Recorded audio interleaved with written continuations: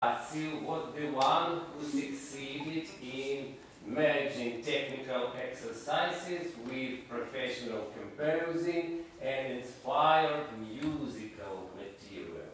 His book, Method for Guitar, is the Bible for all beginners. And as Nicola Paganini wrote Perpetuum Mobile for violin in Carcassi's Etude major, you will recognize Perpetuum Mobile for guitar. The moment we stop moving, we start watching. So move, move, move. Matteo Carcassi, Etude Re major.